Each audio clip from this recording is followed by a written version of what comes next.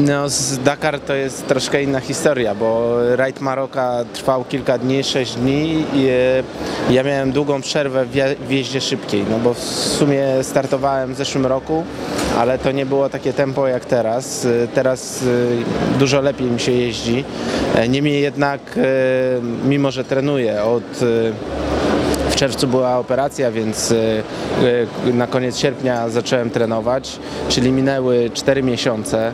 E, Do tego Dakaru nie miałem zbyt dużo czasu, żeby się przygotowywać e, kondycyjnie. Robię wszystko każdego dnia, wykorzystuję każdą chwilę. Niemniej jednak boję się tej nagłej utraty siły, co mnie parę razy na Dakarze sp- spotkało, więc e, jak zwykle z wielką trwogą jadę na Dakar.